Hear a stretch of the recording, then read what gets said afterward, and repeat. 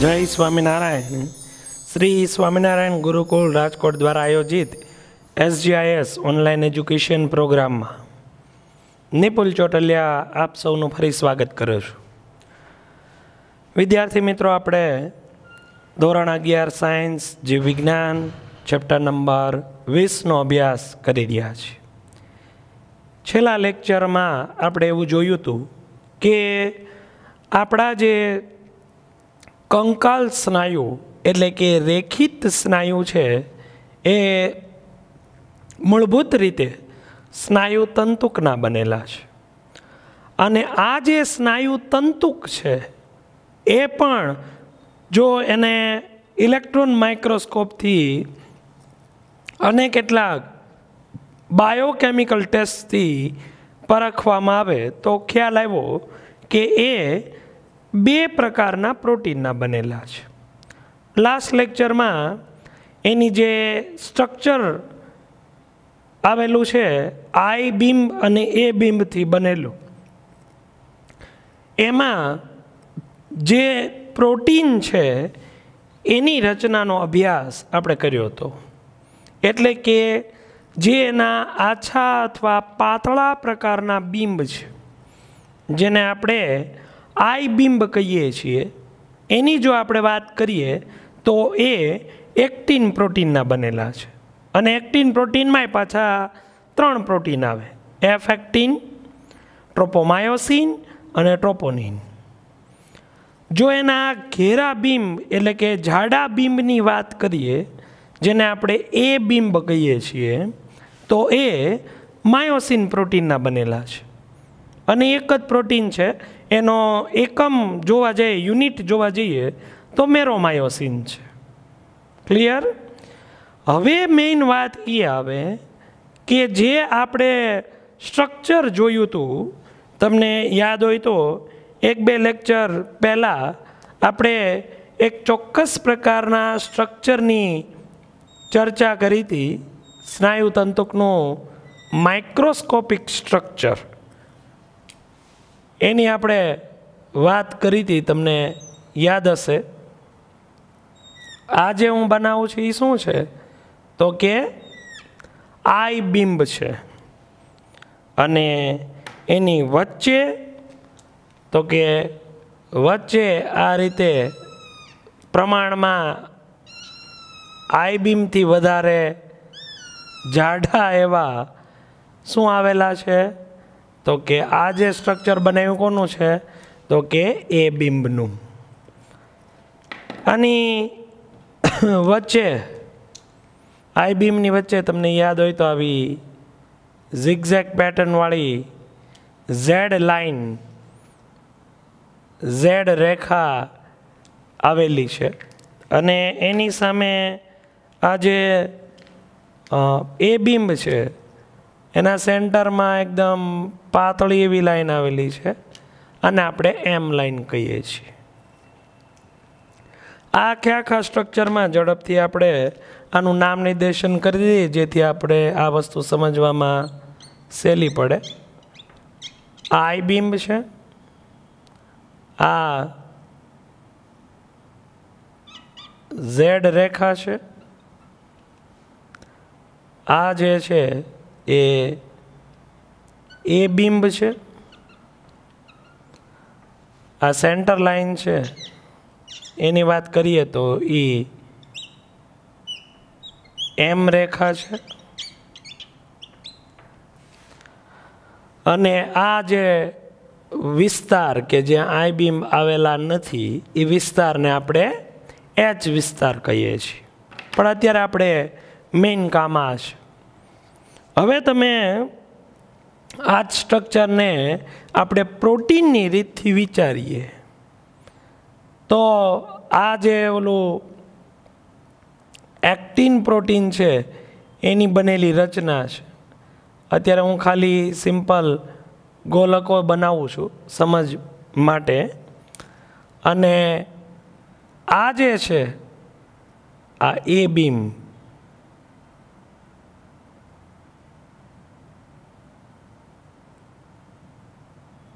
એ કોના બનેલા છે? તો કે માયોસિન પ્રોટીનના બનેલા છે. એટલે કંઈક આ પ્રકારની સિચ્યુએશન છે, આ બે વચ્ચે ગેપ છે. આજે આખે આખા આપણા સ્નાયુ સંકોચાય, વિકોચન થાય. આ જે મિકેનિઝમ છે, એ મિકેનિઝમ આખે આખું કયા સિદ્ધાંત ઉપર આધારિત છે? તો આ જે મિકેનિઝમ આખે આખું, એટલે કે સ્નાયુ સંકોચન જે પ્રક્રિયા છે, એ કયા સિદ્ધાંત ઉપર આધારિત છે? તો કે સરકતા, સ્નાયુ તંતુકના સિદ્ધાંત ઉપર આધારિત છે. એકબીજા ઉપર, એમ કહેવાય ને અને ઇંગ્લિશમાં આપણે કહીએ તો સ્લાઇડિંગ મિકેનિઝમ છે. એટલે શું? તો કે એ બીમ, આ એ બીમ છે, આ આંગળીઓ. આ આંગળીઓ છે એ આઈ બીમ છે. આ રીતની સિચ્યુએશન છે. બરાબર છે? અહીંયા આઈ બીમ આમ અંદરની તરફ જાય છે, તો આને સરકતો સિદ્ધાંત કહેવાય. એક વસ્તુ ખાસ આમાં યાદ રાખજો કે આમાં એક પણ સ્નાયુ તંતુક એમાં આઈ બીમ હોય કે એ બીમ હોય, ટૂંકા નથી થતા, નાના નથી થતા. કેટલીક જગ્યાએ એવો શબ્દ પ્રયોગ કર્યો હોય કે ભાઈ આઈ બીમ છે એ નાના થાય છે. અહીંયા સ્નાયુ ક્યાંય કપાઈ નથી જતા. હું તમને ઉદાહરણ આપું. તો આ આખી હથેળી છે એ દાખલા તરીકે આઠ સેન્ટીમીટરની છે. આ હથેળી આઠ સેન્ટીમીટરની છે. હું આ બે હથેળીને આ રીતે રાખું છું તે ટોટલ માપ કેટલું થયું? સોળ સેન્ટીમીટર થયું. હવે આ જ વસ્તુને હું આમ રાખું છું, તો હવે માપ કેટલું થાય? તો કે કદાચ દસ સેન્ટીમીટર. તો એનો અર્થ શું થાય? કે છ સેન્ટીમીટર મારી હથેળી આખી જે છે, આંગળા સહિત, એમાં કપાઈ ગઈ? તો કે ના, આ એકબીજામાં ફિટ થઈ ગઈ, ઓવરલેપ થઈ ગઈ, એકબીજાના ગેપની અંદર ફિક્સ થઈ ગઈ. એને સ્લાઇડિંગ મિકેનિઝમ કહેવાય. આપણી જે સ્લાઇડિંગ બારી હોય છે, એલ્યુમિનિયમ સેક્શનની બનાવેલી સ્લાઇડિંગ બારી, એમાં તમે જોજો, બે બારીઓ છે, એ આ રીતે આખી આખી બંધ છે. હવે તમે બારી ખોલો છો, ત્યારે એક બારી બીજી બારીને ઓવરલેપ કરે છે, એટલે આ ભાગ ખુલે છે. આમ. આ બારી ક્યાંય જાતી નથી. ઓવરલેપ કરે છે. એ બારી એવું નથી કે આ બારીની અંદર મિક્સ થઈ ગઈ. એવું નથી. બેની ચેનલ જ અલગ છે. સેમ અહીંયા એ રીતનું મિકેનિઝમ છે એ આપણે જોવા મળે છે. એટલે કે સરકતા સિદ્ધાંત ઉપર જેને સ્લાઇડિંગ ફ્રેગમેન્ટ મિકેનિઝમ કહેવામાં આવે છે, એ મિકેનિઝમ આધારિત આપણા સ્નાયુનું સંકોચન થાય છે. એ પણ કયા સ્નાયુ? તો કે રેખિત સ્નાયુનું સંકોચન આ સ્લાઇડિંગ મિકેનિઝમ આધારે થાય છે. પહેલી વાત. બીજી વાત, ખાસ યાદ રાખવાની કે સ્નાયુ ટૂંકા નથી થતા. એકબીજાની વચ્ચેની જગ્યામાં સરકે છે, ખસે છે. સ્નાયુઓ ટૂંકા થતા નથી.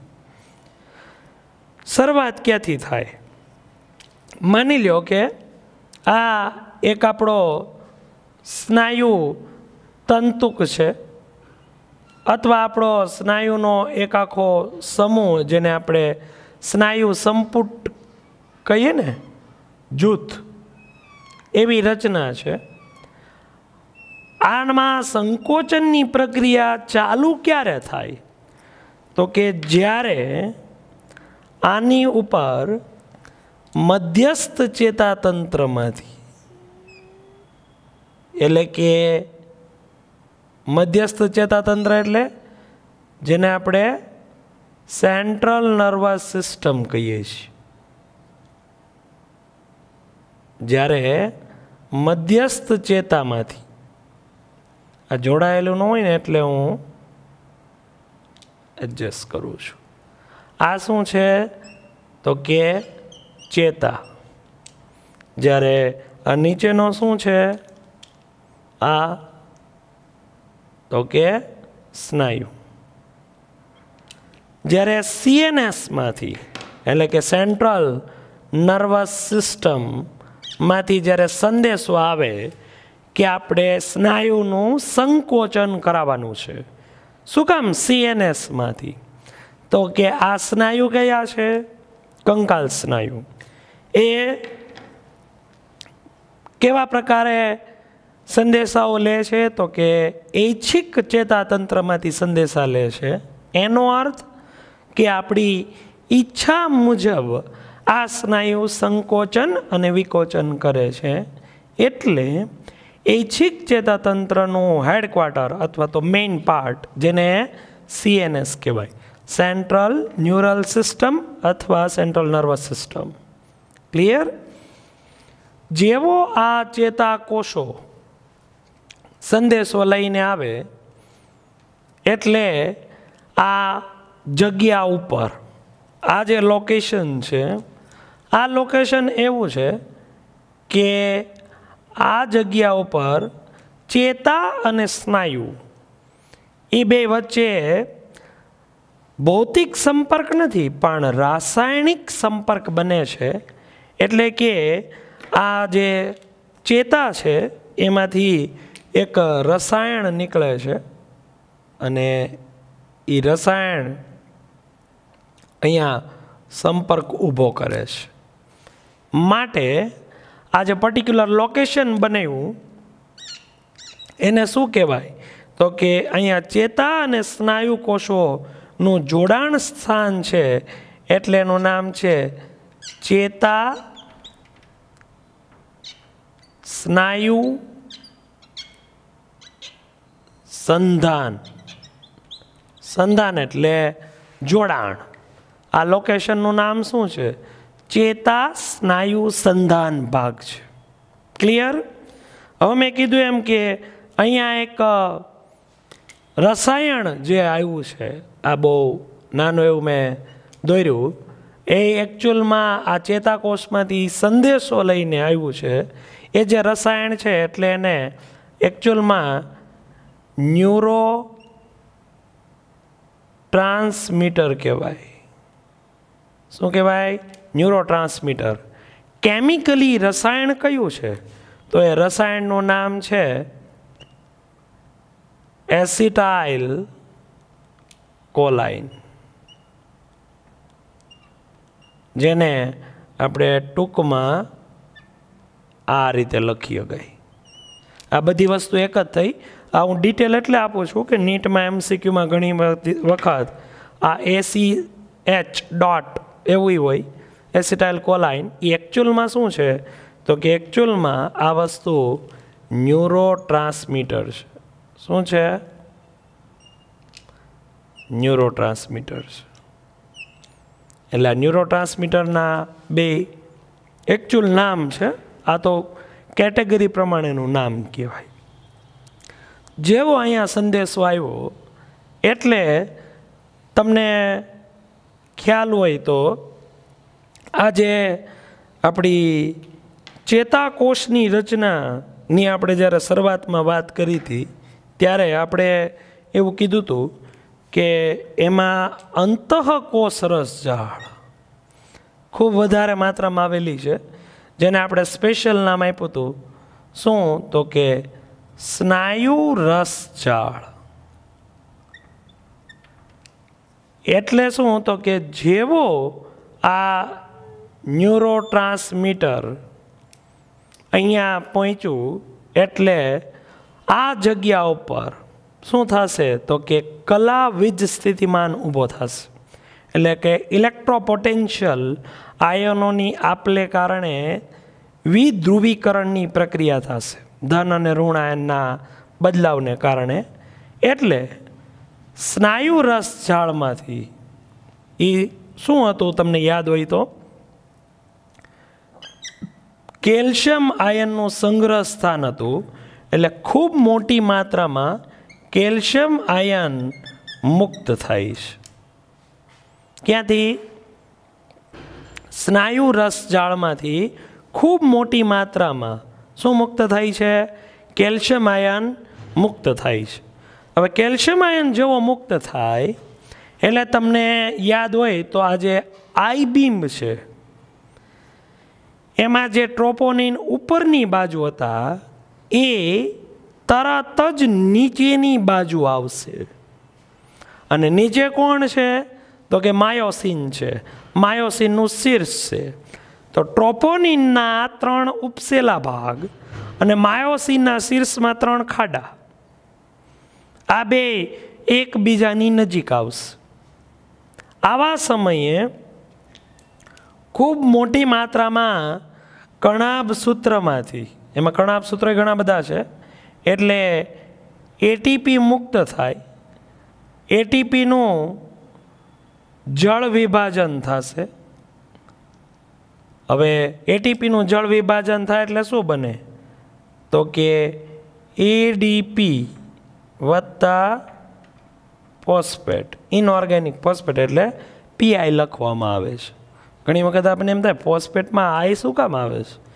ઇનઓર્ગેનિક ફોસ્ફેટના અર્થમાં એને સ્મોલ આઈ લખવામાં આવે છે. તો આમાં તો શક્તિ મુક્ત થઈ. એટલે માયોસિનનું શીર્ષ ઊંચું થશે. અને ઓલા ટ્રોપોનિનના ખાડા નીચે આવ્યા છે. એની આરે બરાબર લોક થશે. તો અહીંયા જે કહેવાય ને માયોસિન વત્તા એક્ટિનમાંના ટ્રોપોનિન કઈ બે વસ્તુ? તો કે આ સિચ્યુએશન એવી થઈ કે માયોસિનનું શીર્ષ વત્તા ટ્રોપોનિન કોને કારણે જોડાણા? તો કે આ એટીપીને આનું જળ વિભાજન કેમ થયું? તો તમને યાદ હોય તો માયોસિન પાસે એક એન્ઝાઇમ છે. કયો? માયોસિન પાસે એન્ઝાઇમ હતો? એટીપીએઝ નામનો એન્ઝાઇમ હતો. એને આ કામ કર્યું, એમાંથી જે શક્તિ મુક્ત થઈ, એટલે આ બે જોડાય છે. આ ટ્રોપોનિન ક્યાંનો? તો કે એકચ્યુઅલમાં એક્ટિન પ્રોટીનનો અને એ બે જોડાતા જે રચના બને, એને આપણે એમ કહેવાય કે ભાઈ બે વચ્ચે સેતુ નિર્માણ થયું. બંને વચ્ચે શું તૈયાર થયું? તો કે સેતુ નિર્માણ થયું. તો આ એકચ્યુઅલમાં આ ટ્રોપોનિનને નીચે લાવવા માટે જવાબદાર કોણ થયો? તો કે કેલ્શિયમ. અને એ ક્યાંથી આવ્યો? તો કે સ્નાયુ રસ જાળમાંથી, જેને આપણે એકચ્યુઅલમાં અંતઃ કોષ રસ જાળ કહીએ છીએ. એમાંથી આવ્યું. બરાબર છે? આ સિચ્યુએશન તૈયાર થઈ એટલે આ જોડાઈ ગયું. આ આઈ બીમ છે, આ એ બીમ છે. સમજાય છે? જેવા માયોસિનમાં એટીપી મેળવ્યું આમ નીચે આવ્યું આ નેર જોડાણું. જેવું પાછું આ સેતુ નિર્માણ થયું, એવું તરત જ માઇક્રો સેકન્ડ્સમાં જ પાછું એમ કહેવાય કે એડીપી અને પીઆઈ જોડાય અને શું બનશે પાછું? એટીપી મુક્ત થશે. એટલે તો કે સેતુ નિર્માણ તૂટે છે. સેતુ નિર્માણ તૂટે છે અથવા તો સેતુ તૂટે છે. ટૂંકમાં જે જોડાણ હતું એ છૂટું પડ્યું. હવે આ ફરી પાછું એટીપી આવે, ફરી પાછું જોડાય છૂટું પડે, તો આપણે એમ થાય એની જ જગ્યાએ રહેશે તો કે ના. આવા લાખો જેટલા એક જ પટ્ટામાં માયોસિન અને એમ ટ્રોપોનિન છે, તો આ ફેક્ટરીમાં કામ હાલતું હોય ને એવું થશે. ધ્યાનથી જોજો. આ જે માયોસિન છે, આ ટ્રોપોનિન છે જોડાણા, સંકોચાણું મુક્ત થયા જોડાણા મુક્ત થયા જોડાણા મુક્ત થયા તો આ હાથ અહીંયા હતો આમ આમ થયું તો અંદર આવ્યો તો આખી સિચ્યુએશનમાં થશે શું તો કે આ આખી સિચ્યુએશનમાં આઈ બીમ અંદરની તરફ આવશે મધ્ય તરફ અહીંયા બરાબર ને હમણાં આમ મેં કીધું તો આવી સિચ્યુએશનથી આઈ બીમ આમ વચ્ચેની તરફ આવશે. એટલે તો કે એવું સેન્ટેન્સ તમારે ક્યાંક ધ્યાનમાં આવશે કે ભાઈ આ સિચ્યુએશન પ્રમાણે આવું કન્ટિન્યુ થશે, સેતુ નિર્માણ સેતુ તૂટવું, એટલે આઈ બિંબ છે એ મધ્ય તરફ સરકશે.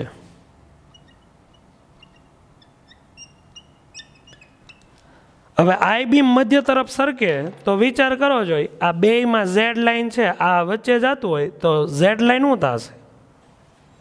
તો કે એકબીજાની નજીક આવે, સ્વાભાવિક વાત છે. તો એમ કહી શકાય કે આઈ બીમ આપણને ટૂંકા થતા લાગે. એટલે કે તેના વિસ્તારમાં ઘટાડો થાય. તેના વિસ્તારમાં ઘટાડો થાય. ઇનડાયરેક્ટલી તો કે એ બીમને કાંઈ ફેર પડ્યો તો કે એ બીમ તો પોતાની જગ્યાએ જ છે. એ બીમમાં તો કોઈ જાતનો ચેન્જીસ નથી. એટલે કે એવું કહી શકીએ કે એ બિંબના, એ બિંબની અંદર કોઈ પણ જાતનું વિસ્તારમાં ફેરફાર થતો નથી. કારણ કે એ બીમ તો પોતાની જગ્યાએ જ છે. ખસું કોણ? તો કે આ બિંબ ખસે છે એટલે એ બિંબના વિસ્તારમાં ફેરફારમાં કોઈ ફેરફાર જ થવાનો. એ બિંબ ત્યાં ત્યાં છે. કહીશું કોણ? I beam. એટલે એવું લાગે કે આઈ બીમ ટૂંકા થયા છે, પણ વાસ્તવિક રીતે શું છે? તો કે આઈ બીમ એ બીમની વચ્ચેની જગ્યામાં ખસ્યા હવે આ આઈ બીમ આમ ખસતા ખસતા અહીંયા સુધી આવી જાય. તો આપણે જેને એચ વિસ્તાર કહેતા હતા, એનું શું થાય? તો સેન્ટેન્સ એવું બને કે આ એચ વિસ્તાર છે એ અદ્રશ્ય થશે. તો આ જે કન્ડિશન હોય, જ્યારે એચ વિસ્તાર ગાયબ થઈ જાય, ત્યારે કન્ડિશનને શું કહેવાય? તો કે સંપૂર્ણ સ્નાયુનું સંકોચન થયું કહેવાય. આ કન્ડિશનમાં સંપૂર્ણ સ્નાયુનું સંકોચન કહેવાય. આ બીમ ટૂંકો થતો લાગે.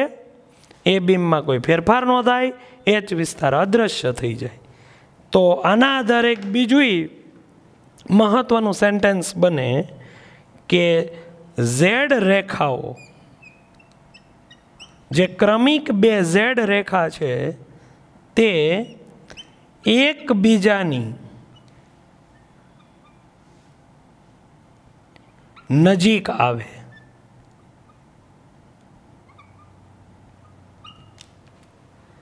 હવે તમે વિચાર કરો જોઈ ક્રમિક ઝેડ લાઈન એટલે એક આ અને એક આ. આ બે ઝેડ લાઈન આ સ્વાભાવિક છે. આઈબીમાં આવે તો બે ઝેડ લાઈન એકબીજાની નજીક આવે. હવે આપણે બે ઝેડ રેખા વચ્ચેનો વિસ્તાર, એને આપણે શું વ્યાખ્યા આપી હતી? એને આપણે વ્યાખ્યા આપી હતી, સ્નાયુ તંતુ ખંડ. એટલે એવું સેન્ટેન્સ બને કે ભાઈ, સ્નાયુ તંતુક ખંડ. સ્નાયુ તંતુક ખંડ ટૂંકો બને અથવા સ્નાયુ તંતુ ખંડનો વિસ્તાર ટૂંકો થાય છે તો આ બધા મહત્વના મુદ્દાઓ થયા જે સંકોચન સમયની પરિસ્થિતિના છે. એટલે કે અહીંયા એસિટાઇલ કોલાઇન આવવું, કેલ્શિયમ મુક્ત થવો એટીપી ખર્ચ થવો, અને આ બધી ઘટના બનવી. એનાથી એક વાત તમને બીજી પણ સમજમાં આવશે કે આ પ્રક્રિયામાં ખર્ચ કોનો થાય છે? તો કે એટીપીનો માટે આપણે જ્યારે જ્યારે આવી સ્નાયુ સંકોચનની પ્રક્રિયા કરીએ છીએ, ત્યારે ત્યારે શું થાય છે? તો કે એટીપી ખૂબ મોટી માત્રામાં ખર્ચાય છે, એટલે આપણે કામ કરવા માટે શક્તિની જરૂર પડે છે કારણ કે સ્નાયુ જેટલું કામ કરશે, એટલો એટીપી ખર્ચ થશે. એટલે આપણે જ્યારે આપણા આ સ્નાયુઓ પાસે કામ લઈએ છીએ. ત્યારે આપણને શક્તિની ઉણપ વર્તાય એટલે કે આપણે કામ કરીએ એટલે આપણને ભૂખ લાગે છે. આ બધું કનેક્ટેડ વસ્તુ છે. ધ્યાનથી સમજીએ તો આ બધી એકબીજા સાથે જોડાયેલી બાબતો છે. સમજાય છે વાત આ? અહીંયા આ આખી આખી સ્ટ્રક્ચરમાં આપણે એવું જોયું કે કન્ટિન્યુઅસ એટીપી બને છે, પાછા જળ વિભાજિત થાય છે, પાછા બને છે, જળ વિભાજિત થાય છે. જેવું એટીપીનું જળ વિભાજન થાય, જેવું સેતુ નિર્માણ તૂટે, એટલે આઈ બિંબ પાછો પોતાની મૂળ જગ્યાએ. પાછી જે એની લંબાઈ હતી થઈ ગઈ. સ્નાયુતંતુ ખંડ જેવડો હતો, એવડો થઈ ગયો. એને શું કહેવાય? તો કે સ્નાયુની શિથિલ પરિસ્થિતિ કહેવાય. એટલે સ્નાયુ સંકોચનમાં કન્ટિન્યુઅસ સેતુ નિર્માણ થતું જોવા મળે અને સ્નાયુ શિથિલમાં, એટલે કે સ્નાયુના વિકોચનમાં સેતુ નિર્માણ તૂટતું જોવા મળે. ટૂંકમાં ઓલ ઓવર સ્નાયુ સંકોચન બોલીએ, એટલે કે જેમાં સંકોચન વિકોચન બે આવી જાય, તો સેતુ નિર્માણ થવું અને સેતુ નિર્માણ તૂટવું એ ચાલ્યા કરશે. તો આવું ક્યાં સુધી ચાલ્યા કરે? તો કે આપણો જે મેઇન વિલન છે મેઇન આ બધું સ્ટાર્ટ કરાવનાર છે કોણ? તો કે આ કેલ્શિયમ. જ્યાં સુધી પાછો સિસ્ટરનીમાં પાછો નો વયો જાય સિસ્ટરનીમાં પાછો ન જાય ત્યાં સુધી. સિસ્ટરની એટલે શું? તો કે અંતઃકોસરસ જાળનો જે પુટિકીય રચના છે, અથવા તો જે નલિકામય રચના છે ને સિસ્ટરની કહેવાય, એમથી આમ સ્પાઇરલ ફોર્મમાં. એટલે કે કેલ્શિયમ આયન જ્યાં સુધી પાછો સ્નાયુ રસ જાળમાં એટલે કે અંતઃકોષ રસ જાળમાં ન જાય, ત્યાં સુધી આ બધો વહીવટ ચાલુ રહેશે. શું તો કે સ્નાયુ સંકોચાયેલા રહેશે. જેવો કેલ્શિયમ વયો જાય, એટલે આ બધી પ્રક્રિયામાં રિવર્સ થાય અને સ્નાયુનું વિકોચન થશે. તો આમ તમે જુઓ તો આમ તો સીએનએસથી આ કંટ્રોલ છે, પણ અહીંયા કેલ્શિયમનું ઘણું બધું મહત્ત્વનો રોલ છે.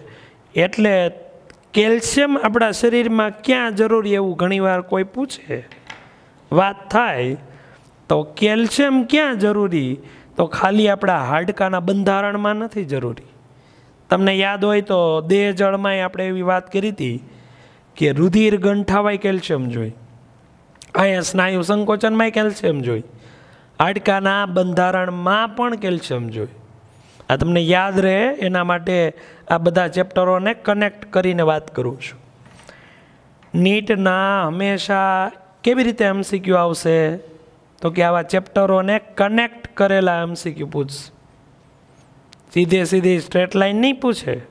સ્નાયુ રસ જાળમાંથી શું મુક્ત થાય? એવો એમસીક્યુ નહીં આવે. બરાબર?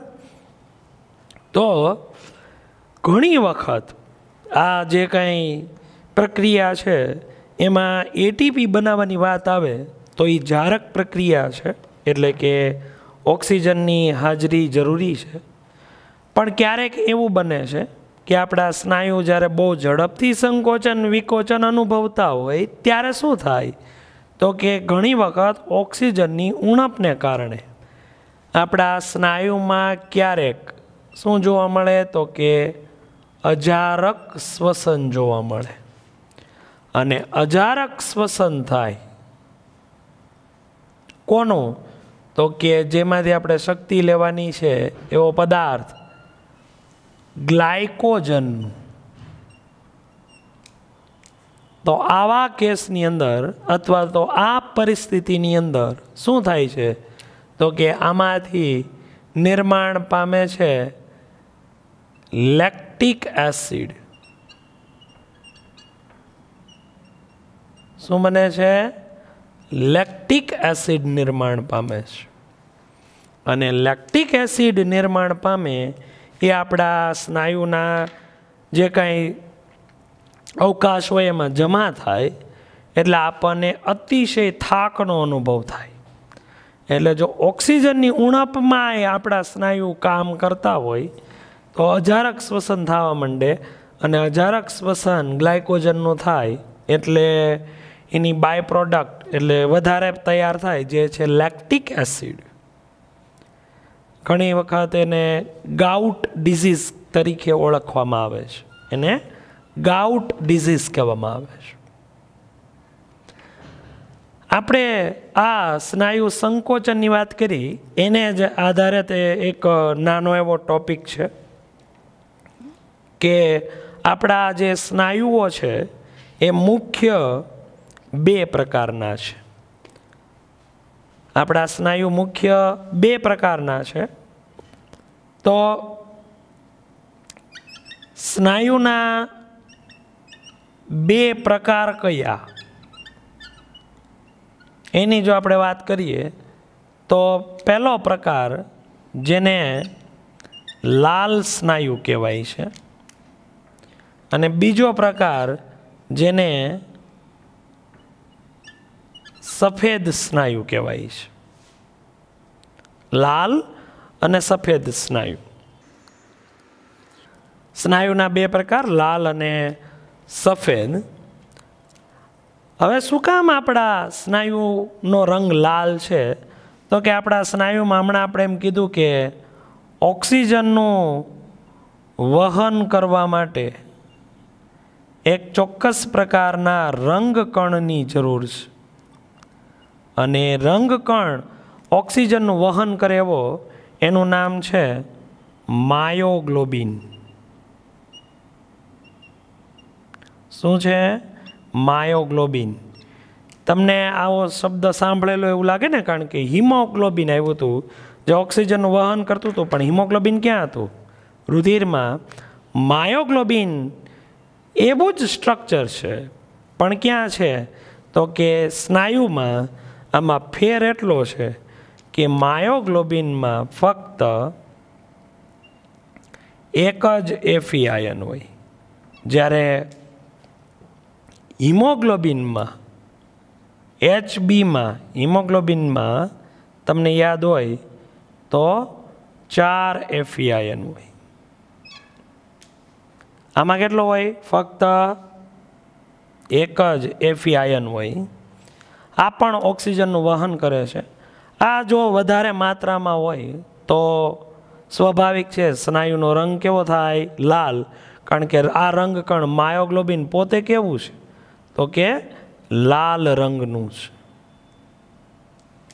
ક્લિયર? બીજી વાત, આમાં ખૂબ મોટી માત્રામાં કણાભ સૂત્ર છે. કણાભ સૂત્ર શું કામ? તો કે કણાભ સૂત્રમાં જ એટીપી નિર્માણ પામશે. એટલે ખૂબ ઊંચી માત્રામાં શક્તિ તૈયાર કરતા આ સ્નાયુ છે. એમ કહેવાય કે આપણા જે સ્નાયુ છે એના બે પ્રકાર. એમાં eighty five to percentage, suppose આપણે રફલી એટી પર્સન્ટેજ આપણામાં લાલ સ્નાયુ છે. જ્યારે આ સફેદ સ્નાયુ શું છે? તો કે સફેદ સ્નાયુની જો આપણે વાત કરીએ, તો એમાં પણ આ માયોગ્લોબિન છે, પણ માયોગ્લોબિનનું ઓછું પ્રમાણ છે, એટલે કે નહિવત છે. માયોગ્લોબિન એકદમ નહિવત પ્રમાણમાં છે. બીજી વાત કે કણાભ સૂત્ર પણ ઓછા છે.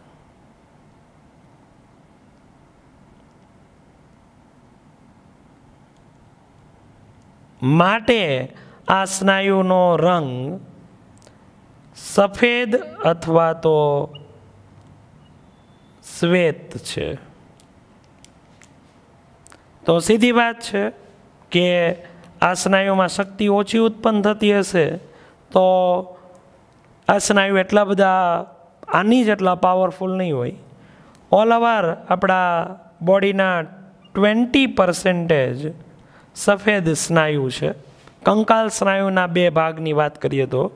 અને આનું બેસ્ટ એક્ઝામ્પલ સફેદ સ્નાયુ આપણને ક્યાં જોવા મળે?